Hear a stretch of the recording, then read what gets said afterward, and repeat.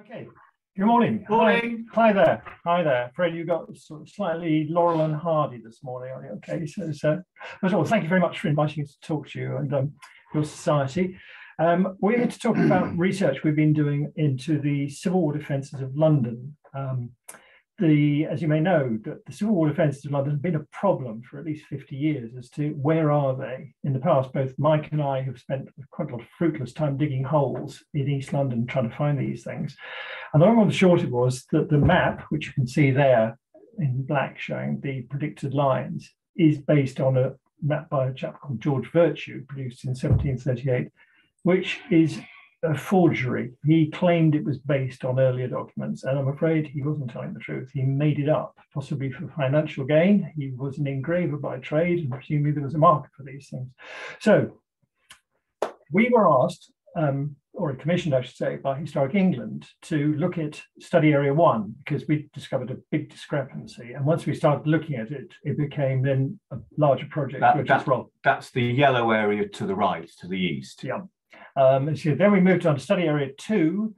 Then we were going to move on to three and four. We moved on to five because Southwark and Lambeth Archaeological Excavation Committee very, very kindly came forward um, to offer a joint fund with Historic England, the South Southern Reaches. So that's what we've done. So that's why it's five. So one, two, and five, and three and four for the future, possibly. So next slide, please. This is this is the villainous Vertue map. Um, he didn't just say I've uh, based on something. He faked it up. He's pretended to be older than it is. It's not real. It's misled everybody. He mis he had he had serial formulas. He mis, mis So it's a fake. It's a fake. I mean, Next. Mike's, telling him to shut up. Go on. Yeah. go on. Okay. Next one. Next slide, please. Okay, what we have found is more interesting documentation which hasn't been found before. On the right-hand side, you've got DeWitt's map. Now, you may be able to sharp-eyed enough to see there's a very faint pencil line around the buildings shown for London on the north bank In the Uh, open ground. on the open ground. I've been trying to get a decent copy from British Library since April, but I'm still working on it. On the left, we have got a list of forts where soldiers were being paid, which we kindly was brought to our attention by David Flintham, who's the leading military expert on these matters, who had been approached by a chap called Ivor Carr, who'd come across him when he was researching something about the Staffordshire regiments. Next slide, please. Okay, uh, this is a LiDAR map of the topography of the study areas. They're the three study areas. The river Thames wiggles, this blue line wiggling through it. On the north side, the darker green colours show the later gravel terraces going up the side of the Thames Valley. These are slightly higher than the brown uh, gravels to the south. So to the north, you've got the Hackney gravel and the Lynch Hill gravel reaching an elevation of between 15 and 25 metres OD going as high as 38 meters to the far north. Uh, these gravels were fairly dry and nice to work with. So the military engineers in the mid 17th century had reasonably good soils to work with. Alternatively, on the south side, where you get getting into Southwark, those that brown area, that's floodplain gravel, that's Kempton Park gravel, that's around about zero OD with a cap of brick earth bringing it up another metre or two. But it's low-lying ground and it's it, it's prone to flooding uh, so it's very waterlogged ground. So it's more difficult for the military engineers to work and put defensive lines in Southwark than it is north of the river. Okay, can we have the next slide, please? Okay, let's start with the forts. Wapping. That's the blue circle, Well, bottom, yeah. on the right-hand side. the description by a chap called William Lithgow has been absolutely critical. He walked around these lines of communication, as they're called, and the forts um, in 1643, April and May. And his description has been absolutely crucial, trying to work out where these forts are.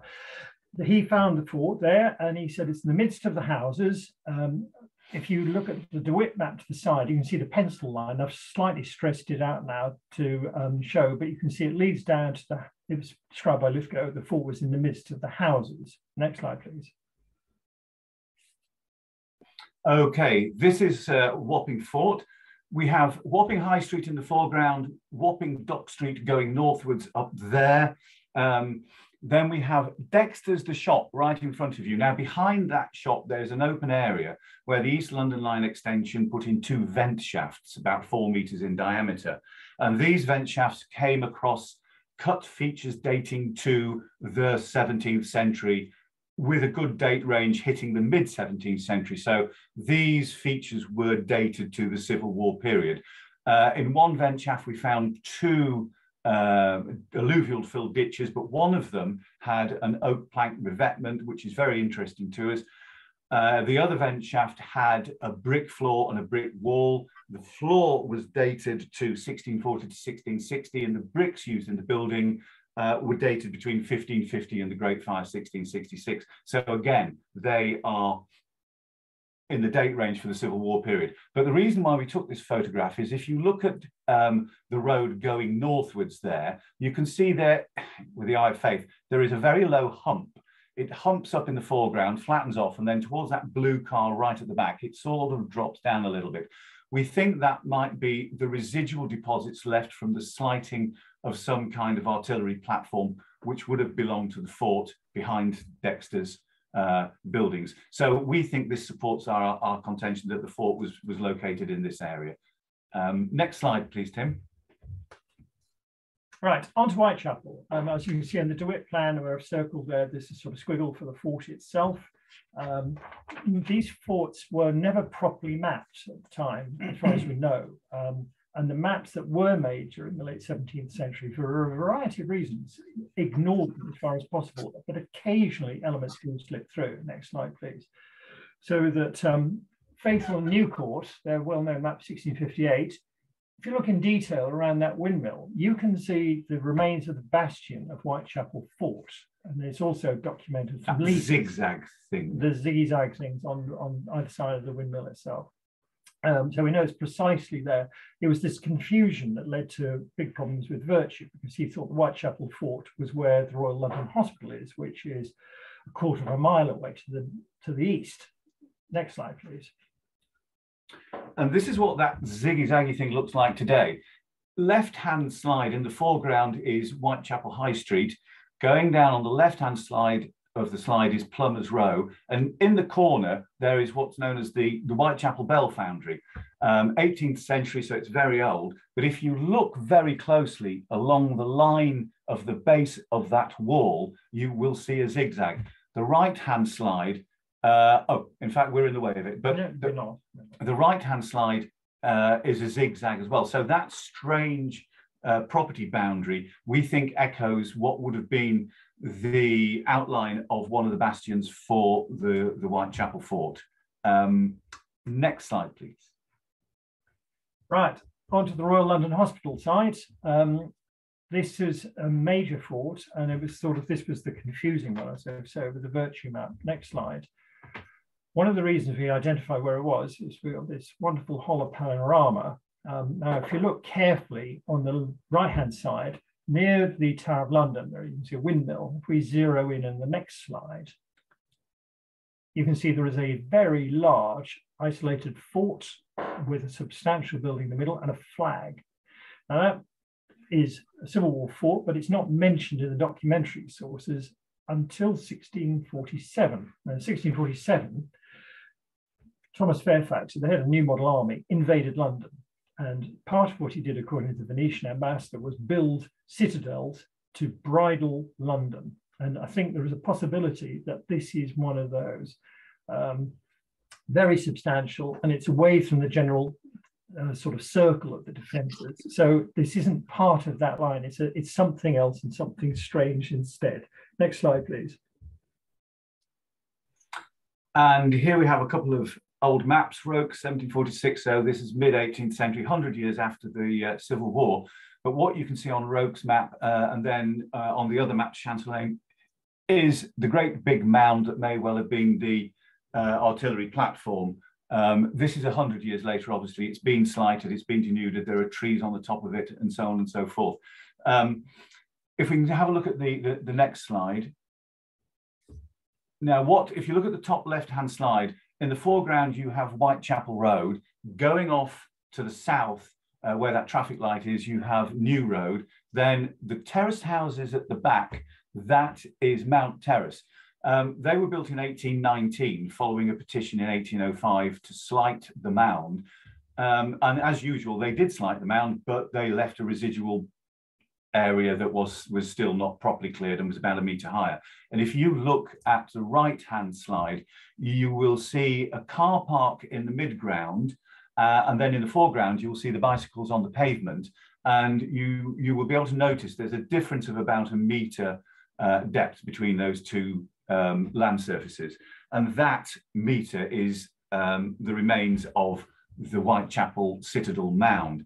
Um, we've done extensive excavations for the, the, the, Royal Hospital in this area, and they have found many features that could be dated to the mid 17th centuries. Some of them are linear cuts as well, some of them are pits.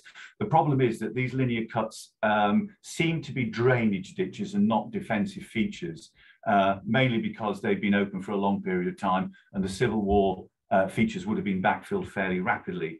Um, also, this area was very, very extensively quarried for gravel and brick earth. And so the archaeological stratigraphy is quite heavily fragmented. So it's very difficult to interpret with any, any degree of confidence what is actually going on. So we're not sure if we've got any fort stuff here, archaeologically speaking, but certainly the ground levels are there. Uh, can we have the next slide, Tim? Okay very simple one, Brick Lane. It's mentioned by the city orders in February 1643 to be constructed. Lithgow doesn't mention it when he's walking past, but it clearly was a little bit of a fort because archaeology found some. Mike. Yeah, 2007, Museum of London did some archaeological excavations here when they built the new railway bridge. Uh, and the interesting thing is that the brick earth, the natural drift geology, the brick earth was overlain, it was sealed by a fairly thick deposit of plough soil the plough soil was dated 1630 to 1650, so that's bang on target for our date range. Um, and the most striking feature, there were two, two cut features were cut into, two double ditches were, were cut into this plough soil. And the thing about the double ditches, as we, we'll tell you later on as we, we, we go through, is that they are, seem to be a characteristic of Civil War defensive features, not of the main forts, but of uh, smaller scale redoubts that seem to fringe the periphery of the main forts and also seem to flank the major arterial routes in and out of London. Papillon, who was uh, a, a, mili a, military um, engineer at the time in a manual dated 1645, uh, does a contemporary view of the, of the defences and he says of the Civil War defences, your great ditch being 20 foot broad is far safer than these small double ditches having a bank of earth some two feet broad left between them, used and erected about the London redoubts. So here's a direct uh, documentary reference to this double ditch defensive uh, characteristic of some of the smaller redoubts around uh, the defensive circuit.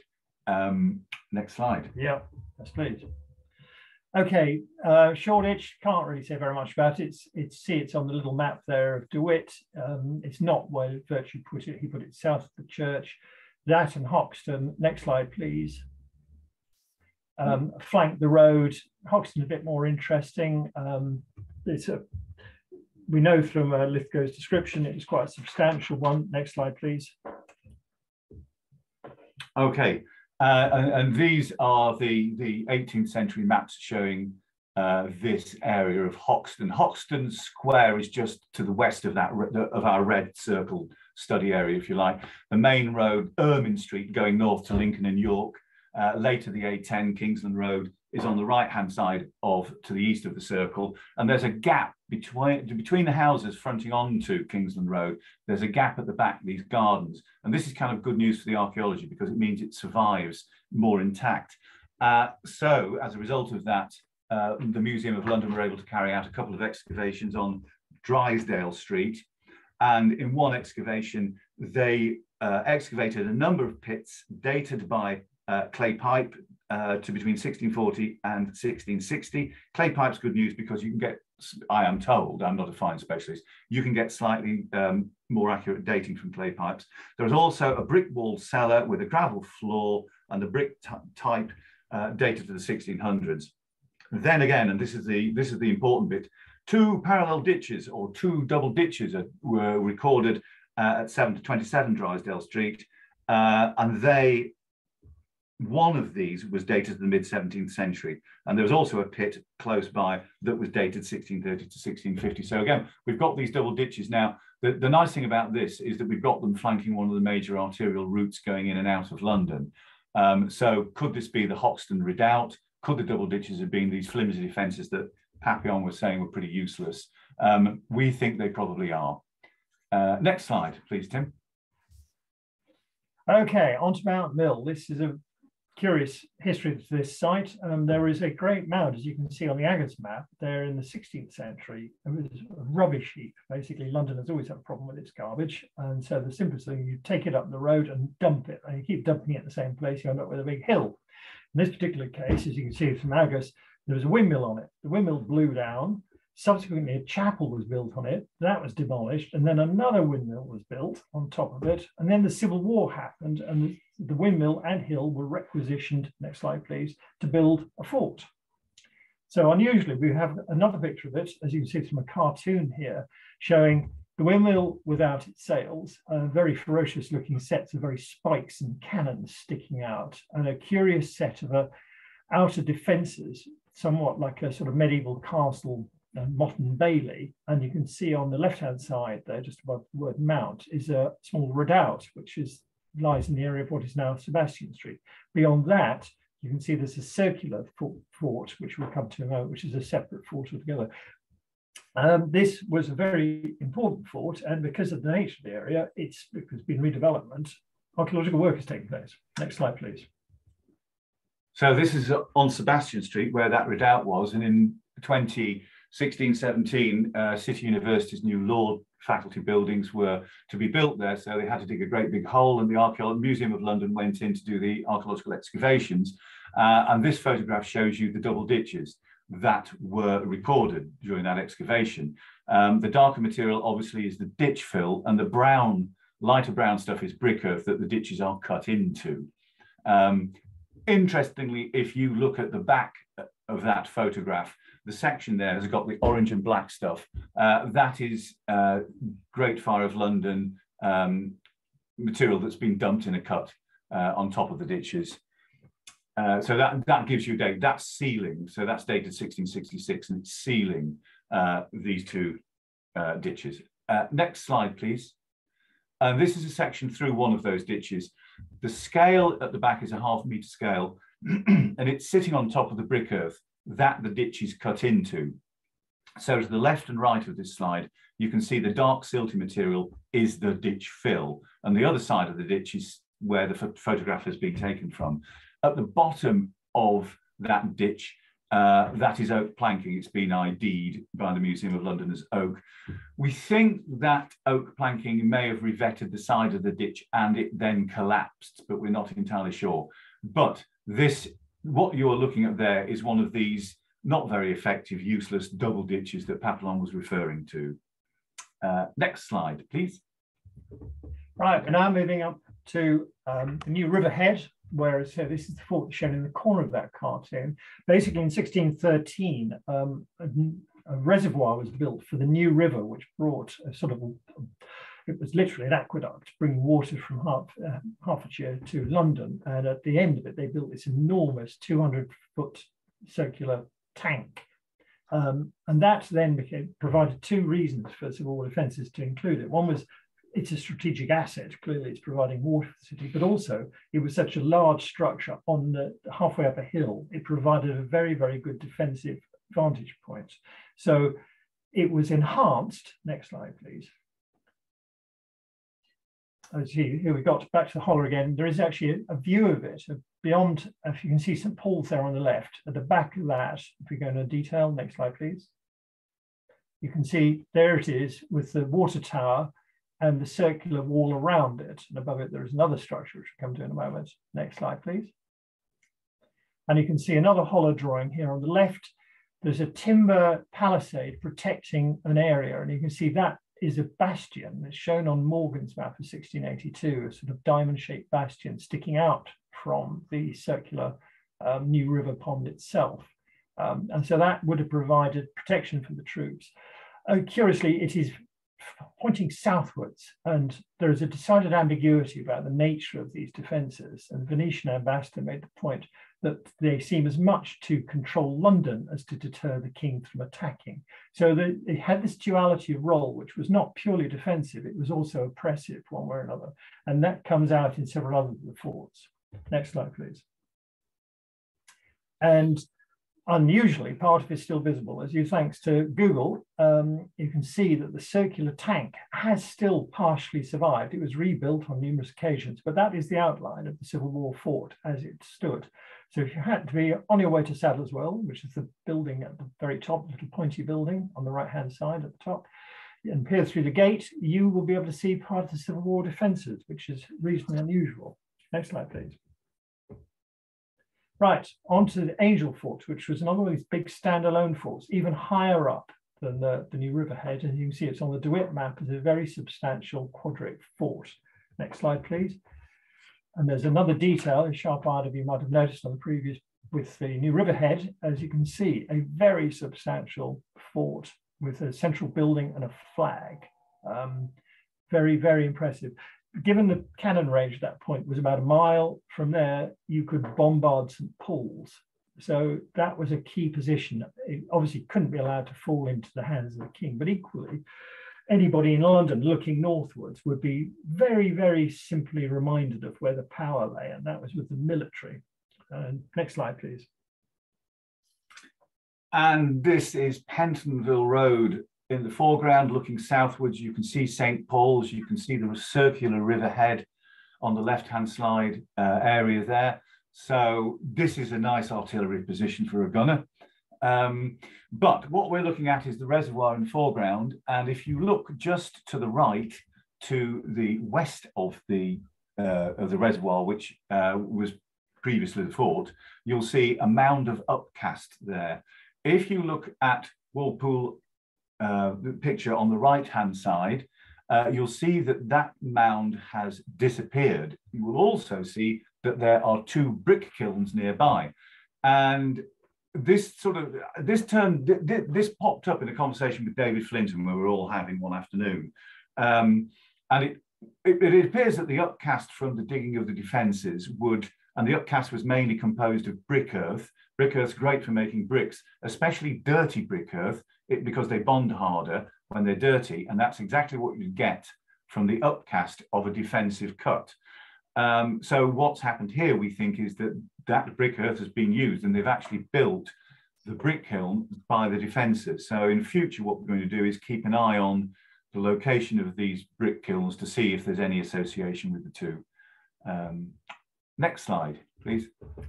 Gray's Inn Lane, a small fort mentioned um, to and fro. I mean, the Lithgow calls it the Pinder of Wakefield Fort because there was a pub nearby. Went to several pubs. A lot of the forts are actually named. It refers to them by just next to the Red Bull, etc., etc.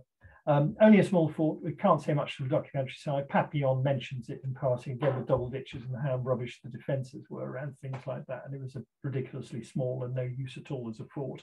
So Papillon didn't like the defences very much, but equally should be said he didn't get any of the jobs to build any of them. So it's slightly vested interest. Um, next slide, please. Okay, so this is again mid 18th century, 100 years after the Civil War. And what it is showing you is the topography of the Fleet Valley, just a little bit north and west of Farringdon Road. So Gray's Inn Road is the main road to the west, to the to the left of the stream. You can see um, it's not a particularly big stream, but it's fast flowing the actual valley it, it uh, inhabits is fairly deep. It goes down from 20 meters OD to about 12, 14 meters OD. deep. So there's between five and eight meters drop from the, from the valley sides down to the very bottom. Uh, we're not sure at the moment how the Civil War engineers coped with this particular, th this topographical feature.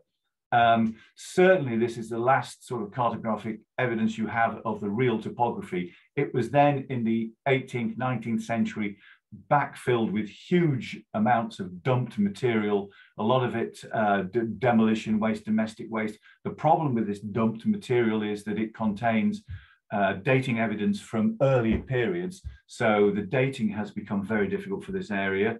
There's also a number of uh, gravel quarries in this area which have chopped up the archaeology, fragmented it. And MOLA and um, Archaeology Southeast have done a number of excavations in here and found some interesting features, um, although we're not exactly sure how to interpret them at the moment. Uh, can we have the, the next slide? And here it is today. So you've got Gray's Inn Road over on the left marked and the River Fleet's obviously the blue dotted line and then the defences are in red. Uh, and you can just see we've we've shown where the defences hit the, the Fleet value. It, it, dips a little bit to give it some some sort of artistic in, interpretation. But that's that's the general location. You've got Farringdon Road, the main road, going a little bit to the right, and that's Mount Pleasant uh, Post Office there. Okay, I think next slide, please. And we're now at Southampton House. Um, as you can see, this was a very impressive pair of bastions put onto the pre-existing garden of um, Lord Southampton's house. Looks like it was designed by a proper military engineer. I mean, there's sort of not many of these forts look like that. The most of them look like they were kind of like built or designed by people who weren't that familiar with the details of modern technology, this stuff. Um, next slide, please.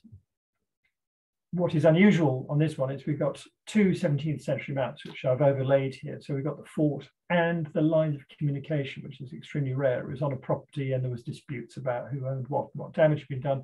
And as you can see, the sort of lines are shown as that three lines parallel, which then zigzags and that zigzag is round and ponding from the stream, which you can see is flowing further along to the to the left right hand side. We've not really talked about the lines of communication because we haven't got time, but yeah. they, they, they were basically, we, we assume, a, um, a trench and a rampart in order to facilitate troop movement between forts. Yeah. I mean, the standard military term is that lines of communication is, it's not a defensive ditch with a bank, it's a trench with a parapet um, sort of more First World War for moving troops from one place to another with comparative safety. Right, that's pretty much North London. Next slide. Thank you. So just in summary, you can see there how different the black lines and red lines Our Red line is where we found out that stuff really is. So that is where we are at the moment. What we're going to do now is cross the river into the beautiful county of Surrey. The next slide. And you can see there, study area five is the funny looking sort of sausagey thing on the south coast running from Vauxhall to Rotherhithe. And there'll be similar, we'll have rings around various pots. So you can see um, where we are if you're not that familiar with the um, roads and such like of South London. Next slide, please. Right, here's the LiDAR picture again. Um, we've got the beige coloured stuff, low line, Kempton Park gravel, brick earth cap.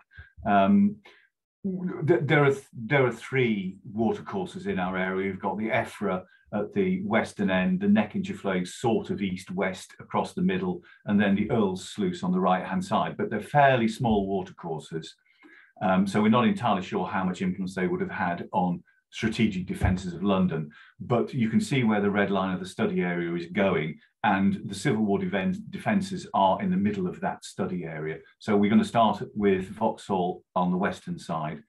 Uh, the next slide, then we see just to sort of give an idea of how wet this is. Some so, blue bits I coloured yeah, in. Peter coloured all the blue bits in. This is Rocque's map. It is 100 years after the Civil War, but what it does show is the complexity and the and uh, and, and the, the numerous cut features, ditches and dikes that have been employed to drain this area. Um, a hundred years earlier, there wouldn't have been so many of them, but it was, you know, it has been known to be in a, a, a marshland area um, for years and years and years. Um, ne next slide. Right, we start with Vauxhall. Um, that was a, a, fort described by Lithgow. It's very much there. It's opposite. There's another one on the other side at Tothill Fields, as it was there. But clearly, at both ends of the Thames, you had to have forts either side to protect against shipping coming down and troops being landed either side.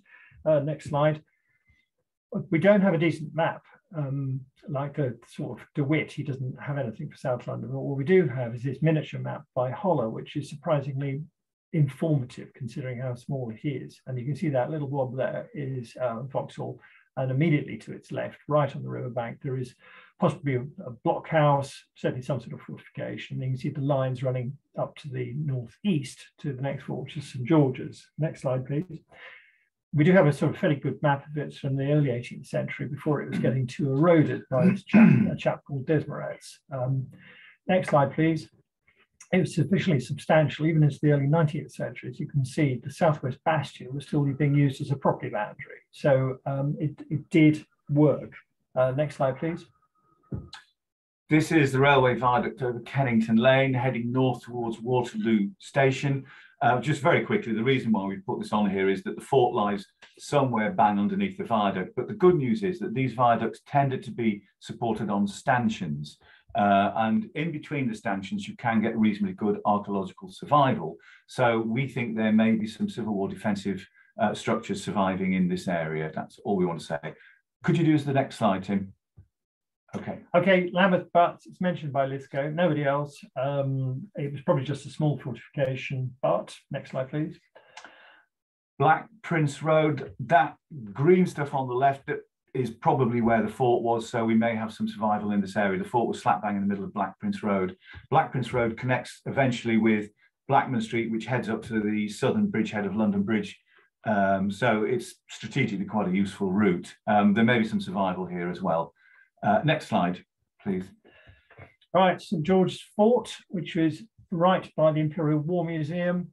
Um, this was a very, very large force. part of this double-edged thing of being defence and oppression, um, because at the height of it, if you came out of the door of Westminster Palace as an MP onto your little boat to go into the city, you would have seen this thing on the other side of a river standing 30 40 feet high. It would have been very, very clear where power lay with this very, very large force. Next slide, please.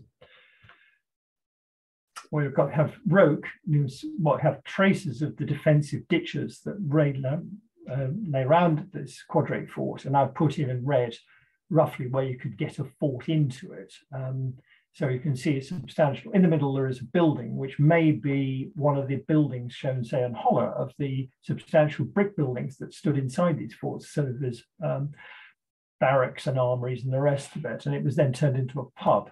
Next slide, please. This is the western side of the Imperial War Museum, where the Museum of London undertook a watching brief when the floor slab was broken out uh, and service trenches were, were, were excavated. The interesting thing here are the double ditches you can see to the north end of those service trenches. Um, and yet again, we have double ditches. So the important thing is that these are a characteristic of Civil War defences.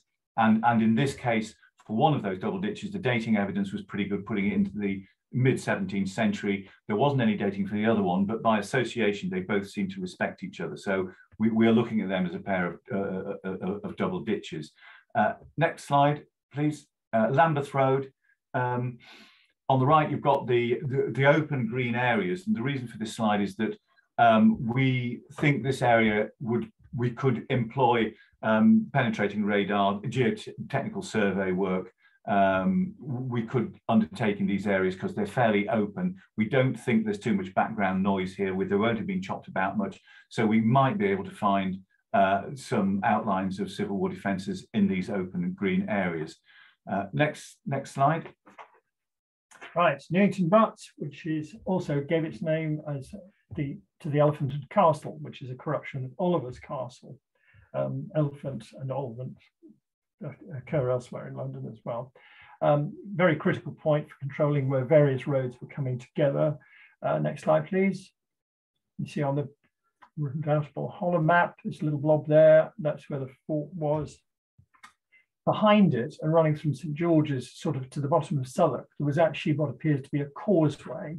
Next slide, please which is shown on a Hollar map, very thin line, you can see there, and it's also on Rocque, and it's mentioned by Defoe when he was describing South London.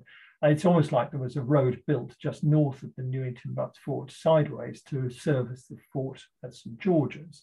And unusually, next slide please, we have also got what appears to be the only depiction of one of the checkpoints um, around London. This is from Faith Faithorne Newcourt, and he said it's very significant, you know, track the traffic and you could check people for what was moving in and out. Next slide, please. The um, 17th century, the Civil War defences were very pointedly ignored for all sorts of political reasons apart from anything else. Um, this was commissioned by um, Canterbury Cathedral, showing their lands. In the middle there is a building which is the White Horse, which became the Elephant and Castle. And you can see it's got its tavern sign. You see this little sticky out sign. And then just below that, there's a gap between the houses, which I think is where one side of the fort would be. It was bastions on the other side of the road. And there would have been a bastion on the other side of the road. And I don't think it's an accident in the middle there. If you can see, there's a thing marked Maypole, little upright thing. And I think that's quite deliberate assertion of the good times are back and the miserable piety of Cromwell and his mates is gone that's my view of it anyway. It's just a personal take on that one. Next slide, please. Okay, this is uh, Elephant Castle. Uh, just to show you the post-war uh, development of the area. Um, there are, however, spots in between these, the, these particular buildings that uh, survival may take place. Um, this post-war development has also restricted to a certain extent the number of archaeological interventions in this particular locale. But if we have the next slide, please. Uh, this is done by Place Services and it's showing you uh, basically different levels of potential archaeological survival. Obviously the red areas are not very good, but you see there's plenty of green areas around there where if development in the future takes place, it would be good for us to do some uh, archaeological evaluation work to check out and see if we can find any Civil War features in this area. So potentially there's still work to be done here. Uh, next slide, please. Right, off to Kent Street, otherwise also called the Lock Fort. Um, next slide. On Hollar, we've got there is a quite clear one. Uh, next slide. This was by the Lock Hospital, which was a hospital for venereal diseases, previously a leper hospital. Um, Morgan carefully tries to not show much on his map, but in the very edge, going into the border of the map, there is a sort of L-shaped water-filled feature. And on Rocque, there is a funny zigzag bit on the property boundary for the Lock Hospital. And if you put the two together, you actually end up with a bastion shape, which I've colored yellow um, with blue water around. And I'm pretty sure that is the location of the bastion for the hospital, for the, for the fort just south of the hospital. Next slide. And this is its location today, Great Dover Street, Tabard Street there, um, where that purple thing is in the middle of the slide for newspapers or something, or was it re recycling? Where that is, is, is pretty much where the fort is. But again, just very quickly, we think there will be some decent survival in this area um, outside the building footprints. So potentially could be some archaeology in this in this area. Okay. Okay, next. Next slide, please. We're nearly there. Nearly there, Bermondsey, right? A big fort um, just near Bermondsey Abbey, near the Grange. Sometimes called the Grange Fort. Next slide, please. Um, Hollar did a sketch before he did his panorama, and he didn't include all of it in the final finished product. But if you look, there with the eye of faith, there may be the outline of a fort. And that's why I put two in. Equally, it may just be him shading in stuff. So I'm not saying that's definite. It's just a um, personal thing. Well, that's quite interesting. Next slide, please. This field with the red circle in it was called Fort Field. Um, it's seven acres. The Cecil family who owned the land got lots of compensation for it. It was a very big fort. It took a lot of time and effort to demolish it. Um, we do know that in the process of this, there were 200 elm trees chopped down, about 200 acres of pasture lost its fencing, and it's possible that that timber was used to construct effectively a corduroy road across the marshy deposits to form the lines over to the next fort at Rotherhithe, which was all very much soggy water meadow. If you tried to dig a trench, it would turn into a canal. So clearly they had a different way of having the lines of communication at that point. Next slide, please okay, this is where we think uh, it is the municipal building there, the big white building, Spa Road, Neckinger Road. Uh, again, we're just putting this in to show you what it looks like in the present day and that there is potential for archaeological survival in the open areas around the main big white building there. Okay, let's do the next one. Next slide. There we go. There we are, opposite Wapping. We've got Rotherhithe. Next slide. Um, funny looking business. This on Faithorne Newcourt looks like a fortified quayside, which is unlike the other forts with two sort of substantial buildings either side of it. The lane leading up to that oval is called Elephant Lane and still called Elephant Lane, which is a corruption of Oliver's Lane. And that goes back to the 1650s as a name. So I think this gives an indication of where this was leading to. Next slide, please. And you can see there more clearly somebody, you know, has drawn it with crenellations on the adjoining buildings as well. So it's a fairly substantial piece of something on the quayside. And it would have been presumably a bit like looking at Portsmouth Harbour, you get where you can have cannons facing onto the sea so that on this case into the river, so ships can be controlled. Next slide, please. And if we look at the slide on the left, uh, you can see 100 yards to the east of the Rotherhithe Fort, there is a red square saying where the East London line extensions, vent shafts were located. This time on the south side of the river. Remember, we already looked at some on at Wapping. Here on the south side of the river, there are two vent shafts for about four meters in diameter. Shaft one and shaft two, they both contained uh, evidence for the riverfront revetments were produced from vertical oak piles with um, softwood uh, walling um, of reused river vessel wood. Basically, shaft one was dated sort of 1650, 1750, shaft two round about mid 17th century. So it looks like there's generally speaking, there's a mid 17th century um, up, improvement of the waterfront in that period, close to where we think the lines of commu communication may have um, reached the Thames. Okay. Next slide, please. It's just the view that would be more broadly between that large modern white building on the riverfront and the church tower. That's where they've been pretty full. So it was kind of long and thin. Next slide, please. So in summary, central, central London, this is the defences. And as you can see that pretty much none of it matches with the previous stuff. Obviously, there's a large gap on the west. Um, uh, next slide, please, and just put it into a general context. There are lots of small forts, which we've also been looking at, which we don't have time to talk about. So you can see it was part of a very complex, in-depth defensive structure. Um, in terms of, was it a symbol of power? It was a symbol and an assertion and also practical. Um, it was very much, this was there to do the hard work of defending the city as well as impressing on everybody. We are not going anywhere. Parliament is going to hold on to London. Anyway, I think we're there. So thank you for your time.